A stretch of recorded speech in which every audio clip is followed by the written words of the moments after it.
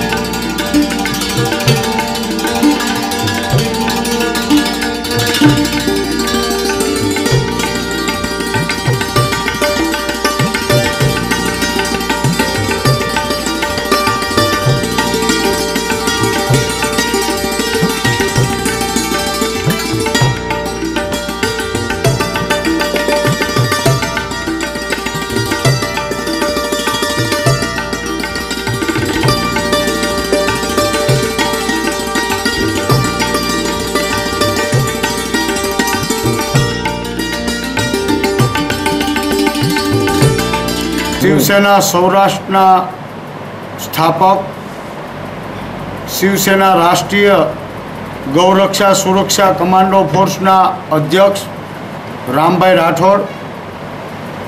આજ તારીખ બેના રોજ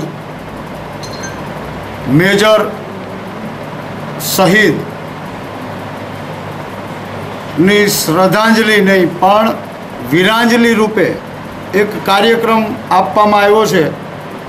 જે કાર્યક્રમની રૂપરેખા અહીંયા અમરેલીથી રેલી દ્વારા શિવસેનાના કાર્યકરો તેમજ રાષ્ટ્રીય ગૌરક્ષા સુરક્ષા કમાન્ડો ફોર્સના કાર્યકરો દ્વારા રેલી સ્વરૂપે વાઘણિયા મુકામે જશે અને ત્યાં ઋષિકેશ રામાણીને વિરાંજલી ત્યાં કાર્યકરો જઈને આપશે.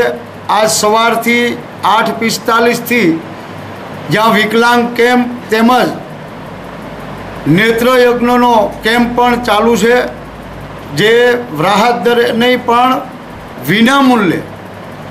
જે ટ્રસ્ટ દ્વારા જે કાંઈ ખર્ચ થાય તે ટ્રસ્ટ દ્વારા કરવામાં આવેલ છે.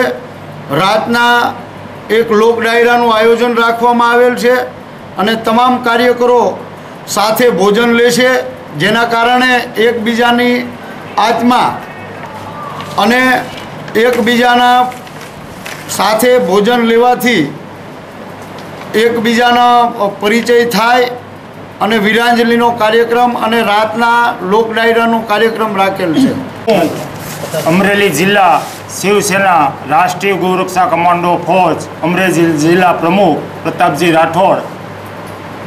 આજ તારીખ બે છ બે હજાર તેરના રોજ એક વીર શહીદને વીરાંજલિ રૂપે કાર્યક્રમની આયોજન કરેલ હોય તેમાં સ્કૂટર રેલી અને સાંજે લોકડાયરાનું આયોજન રાખેલ છે. વિકલાંગ કેમ્પ અને નેત્રયજ્ઞ પણ ચાલુ છે સવારે આઠ પિસ્તાલીસ કલાકથી. આ કાર્યક્રમ કઈ જગ્યાએ રાખવામાં આવેલો નેત્રયજ્ઞ નેત્ર યજ્ઞ ને નિદાન કેમ્પ આ કાર્યક્રમ નવા વાઘણિયા, તાલુકો બગસરા, જિલ્લો અમરેલી. હું અમરેલી જિલ્લા સમસ્ત રાજપૂત સમાજના પ્રમુખ અમરસિંહજી રાવવાળા આજે વીર શહીદ ઋષિકેશ રામાણીને ચોથી પુણ્યતિથિ નિમિત્તે અમે રાજપૂત સમાજના દરેક આગેવાનો એમને શ્રદ્ધાંજલિ આપી અને એમને એમને ગૌરવ અમે અનુભવ્યું છે અને એમને નમન કરીએ છીએ. આવા શહીદો દેશની અંદર થાય છે અને દેશને ઉપયોગી થાય છે. લોકોએ આમાંથી ધડો લેવાની જરૂર છે.